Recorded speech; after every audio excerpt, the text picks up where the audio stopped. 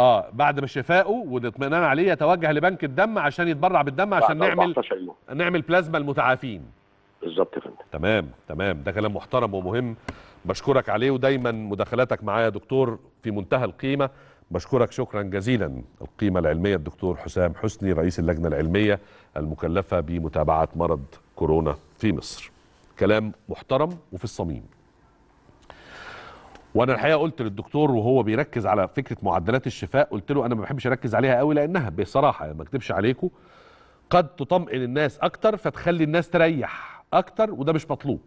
إما إحنا نقلق ونلتزم حتى لو زيادة شوية أضمن وأكثر احتياطا من إن إحنا نطمن ونريح فيحصل ما لا يحمد عقباه. والعبرة عندنا والعبرة عندي اسمها محمد نادي. العبرة عندي في اللي أنا بقوله لكم ده عشان تعرفوا إن أنا مش بقول كلام يعني هري كده بمحض الصدفة لا أنا بقول لكم كلام مبني على وقائع. لما بقول لكم إن إحنا نخلي بالنا ونحتاط أكتر من اللازم أضمن من إن إحنا نطمن وما نلتزمش الواقعة بتاعت الراحل ربنا يغفر له ويرحمه محمد نادي وقع في منتهى الدلالة.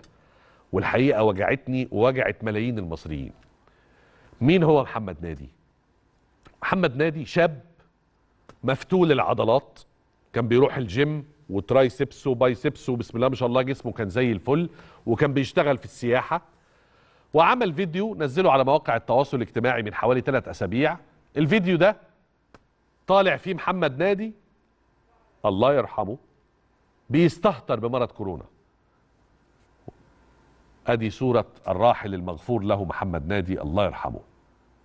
صحة وشباب وعضلات. لكن طبعا ما يغلاش على اللي خلقه. طلع محمد نادي في الفيديو وقال لهم إيه كورونا دي؟ توجعوش دماغنا بكورونا وكورونا دي حاجة عبيطة زي الانفلونزا كده ومش عارف إيه وخليكم جامدين وده أساسا حاجة كده متصنع مش عارف إيه وحرب ما بين الدول ومش عارف كذا لكن بالنسبة لنا إحنا كمصريين ما تقلقوش وبتاع. وعمل فيديو كله في حالة من حالات السخرية والاستهتار من كورونا. إيه اللي حصل؟ اللي حصل إن محمد بسبب اختلاطه ونزوله وعدم التزامه أصيب بكورونا. ويا ريت هو بس اللي أصيب بكورونا. ده هو أصيب بكورونا وعدا أبوه وأخوه. عدا أبوه وأخوه. ثم بعد معاناة شديدة لمحمد نفسه هذا الشاب مفتول العضلات مع المرض وهو في الأيام الأخيرة في مستشفى العزل في مستشفى 15 مايو عمل فيديو الحقيقة مش هقدر ازعه لكم لأنه في منتهى القسوة. منتهى منتهى القسوة. فيديو في منتهى القسوة على المشاعر مش هقدر ازعه لكم.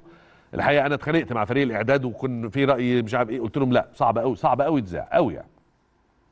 وهو طالع بيقول وهو مش قادر يتكلم وهو على فراش المرض بل ربما على فراش الموت يعني وهو بيقول للناس أنا آسف وأنا غلطت وكورونا مرض خطير ومقعدني اهو وأنا شكلي هموت. أنا آسف لأي حد يعني خليته يستهتر بالمرض. أرجوكم خلوا بالكم. ممكن تنزلوا صورة فيكسه بس صورة كده ثابتة من غير الفيديو لأن الفيديو صعب. بس نزلوا صورته وهو على فراش أهو. أدي محمد وهو في مستشفى العزل وعلى فراش الموت قبل ساعات من وفاته. وهو كان بيتصور هنا حد بيصوره من أقاربه. ومحمد ما كانش قادر يتكلم وما كانش قادر يفتح عينيه زي ما أنتم شايفين وكان بيقول للناس أنا تعبان جدا وبموت أنا آسف على استهتاري بكورونا ووجه رسالة للمصريين إن هم يهتموا جدا جدا بكورونا وبالإجراءات والالتزام بالإجراءات علشان ما يحصلش اللي حصله. وآخر كلماته في الفيديو كانت لا إله إلا الله محمد رسول الله. محمد نادي درس.